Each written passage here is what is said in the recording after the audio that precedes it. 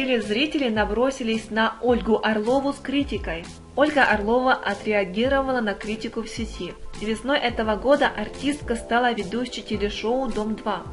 Недавно эта должность в очередной раз принесла в жизнь звезды скандал. Ольга была жестко раскритикована поклонниками программы за случившийся инцидент на седьмой площадке телестройки. Фанаты, как выяснилось, взвесились из-за того, что Орлова выгнала накануне сразу двух участниц из проекта. Орлова отстояла свои права, заявив, что в эфире была показана неполная версия случившегося.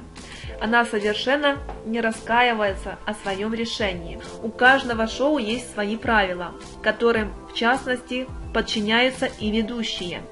Всегда будут недовольные, когда кто-то будет покидать проект. Всегда есть те, кто за и против того или иного участника. Бессмысленно писать гневные сообщения, потому что ход событий уже не изменить.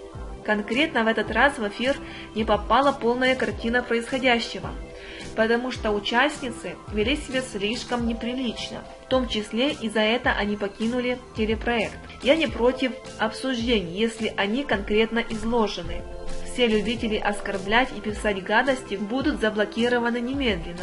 Прежде чем диктовать мне, как жить, займитесь усовершенствованием себя. Уверена, вам есть над чем работать, высказалась Ольга в соцсетях. К слову, ее коллеги Ксения Бородина и Ольга Бузова также часто попадают под критику фанатов Дома-2. Вот только у них, благодаря многолетнему опыту, уже выработался иммунитет к истерикам поклонников проекта. Ольге же еще только предстоит научиться игнорировать негатив телезрителей.